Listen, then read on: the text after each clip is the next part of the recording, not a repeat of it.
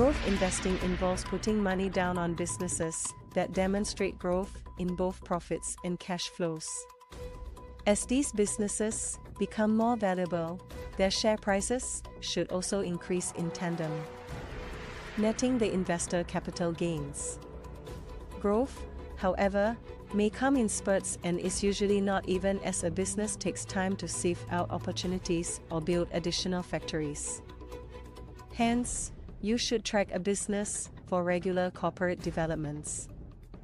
These developments highlight management's efforts in growing the business and improving its top and bottom lines.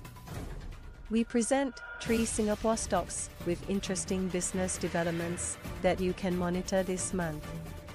Raffles Medical Group, or RMG, is an integrated healthcare provider that operates in 14 cities in 5 countries in Asia.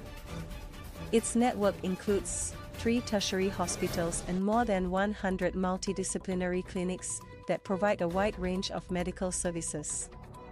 Last week, RMG announced a strategic partnership with MyMy Trading to acquire a majority interest in American International Hospital AIH in Ho Chi Minh City HCMC in Vietnam. AIH's valuation was arrived at on a willing buyer and willing seller basis after factoring in the valuation of 45.6 million US dollars of the hospital asset conducted by Savills Vietnam back in July. As part of this agreement, RMG will also enter into a management service agreement to manage the hospital. AIH was built in 2018 and is a 120 bed, fully equipped tertiary hospital with five operating theaters.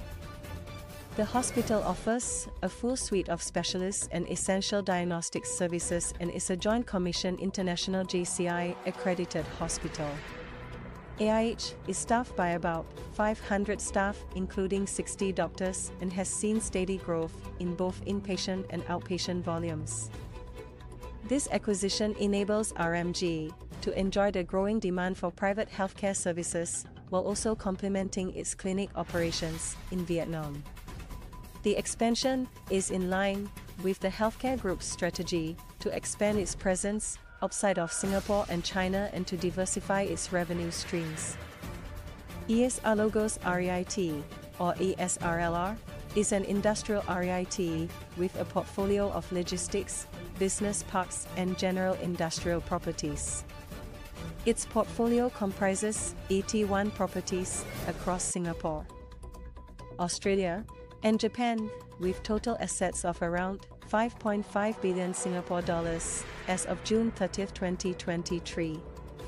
The manager of the REIT announced that 7002 Ang Mo Kio Avenue 5 had recently completed its Asset Enhancement Initiative AEI.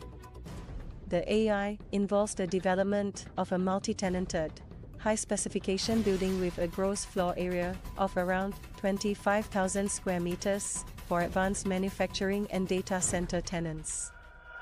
With the completion of the AEI, the property has secured an occupancy of 50% from two established companies.